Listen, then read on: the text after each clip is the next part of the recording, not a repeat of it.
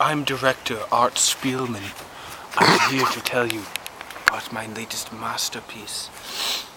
I was inspired with the divine idea to make a movie about the essence of humanity. And I capture that essence in my superhero, who is the Clothespin Man.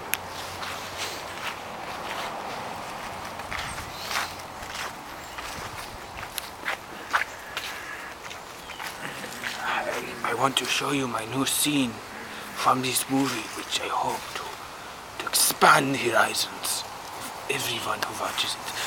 It will be a scene from the very early beginnings of the movie, where the Clothespin Man finally first discovers his power, and he defeats a small-time criminal with his power of clothespins. You shall see.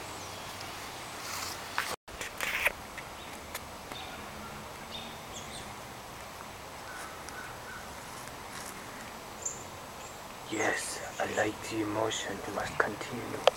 Now enter the clothespin man. Ah! Ah! Go away and leave me alone. Ah! Stop! Stop! Stop! I've heard about you. You're terrible. This is no good. You do not have the emotion of a caged tiger. You do not have the rage. You do not have the rage. You must feel more angry. You must feel so soft. You act like nothing is happening. Me? You, you must have the anger of a caged tiger. You, you must feel the fear of a little egret as it peers out of his hole. What's an egret? It's a small animal from the northern hemisphere.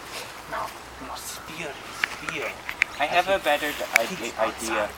How about you act in the scene since I am the director Oh, yes, this is and you are the actor? It was a good um idea, but it failed. So let's try again. Yes. Let us go. Oh yeah, go ahead. Um, sadness. Good trick with the glasses. I like it.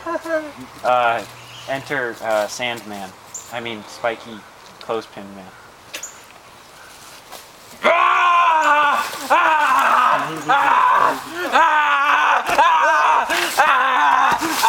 Good.